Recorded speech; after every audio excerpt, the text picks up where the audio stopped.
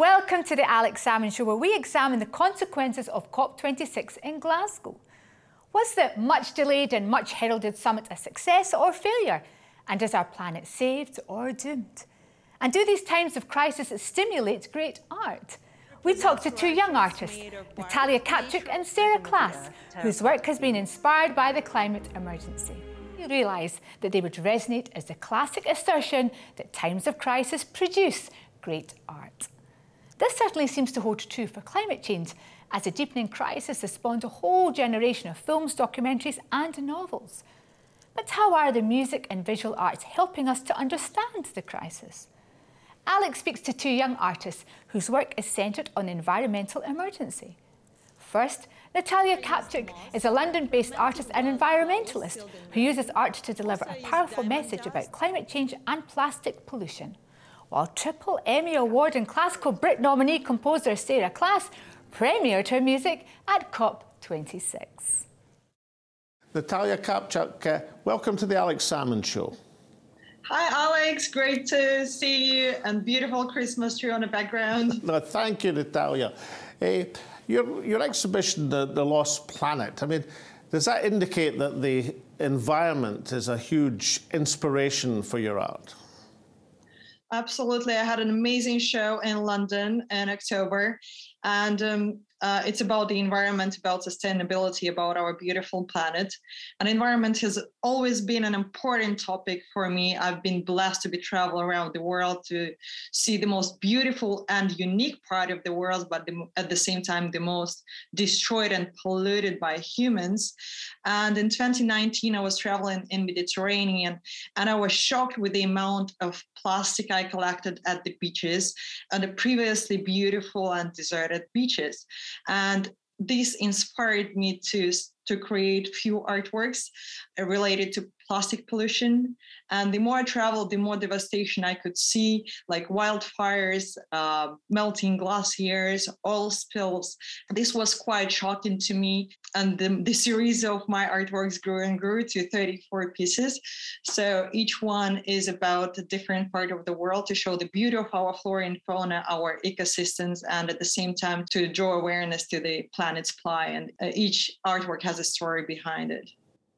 But as part of your uh, exhibition uh, in London, you you hosted the uh, uh, the talk, the discussion, is this the planet Earth's dying century? So you actually had a almost environmental, almost a political discussion as part of your exhibition in visual art. That's an interesting combination. Yes, absolutely. Um, basically, I wanted to maximize the impact of my message on climate, especially because art is such a powerful tool to, to express hard held views and emotions. And I organized that panel discussion press breakfast where invited uh, key media and uh, representatives from uh, Plastic Ocean, Earthwatch, Royal Geographic Society MP Barry Gardiner. Uh, the panel was hosted by a journalist and BBC presenter Samantha Simmonds. And the topic was broad enough to discuss many issues that the planet is facing at the moment. And um, also it was held at the on the eve of COP26, which I think was was a perfect timing. And Natalia, your exhibition was also illustrated on the Oxford Street 161 to 167 building. I mean, what's it like as a, a visual artist to, to look at your, uh, your artwork being displayed and as tens of thousands of people go by in one of the, the busiest thoroughfares of, uh, of London?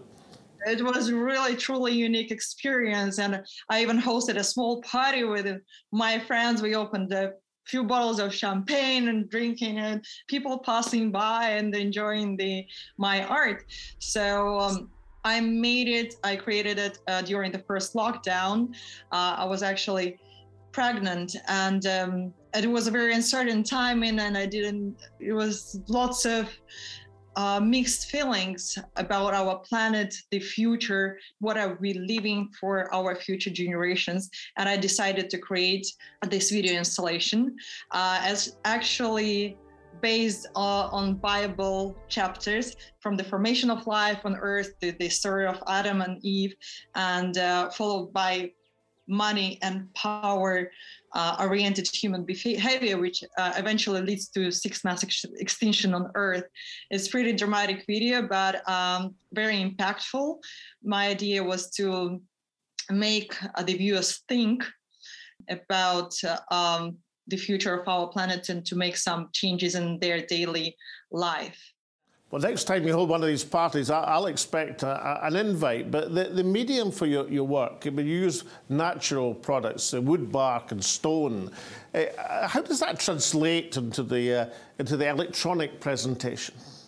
Um, yeah, actually, I use mixed media. So I use some natural materials and as well as some industrial ones from natural, for example, sand, fermented moss, um, volcanic stones, which I collect like from Stromboli volcano, tree bark from Siberia, which I personally uh, collect, or industrial ones, sh- which shows the interconnection of everything in the world and that we humans, we have to be thoughtful while using uh, both natural and man-made resources.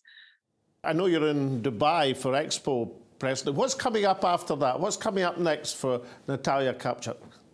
Yes, I'm here and it's Expo. It's an amazing time. I'm bringing a few artworks uh, at Antigua and Barbuda Pavilion.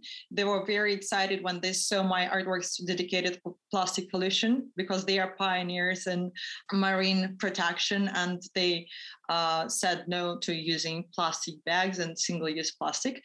And I'm bringing few artworks dedicated to uh, to this uh, issue, global issue, plastic pollution. Uh, so now at the moment I'm staying here. The expo is still March. So the next step is the exhibition in South Korea in the, one of the museums. And um, as for my video installation, it's traveling around the world. Uh, it will be showcased in France, in Trophée d'Auguste and Chateau de Crémone, and south of France um, coming fall.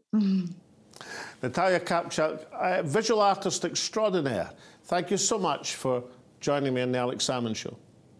Thank you, Alex. It was great chatting to you. But now from Alex, myself, and all at the show, it's goodbye, stay safe, and we hope to see you all again next week.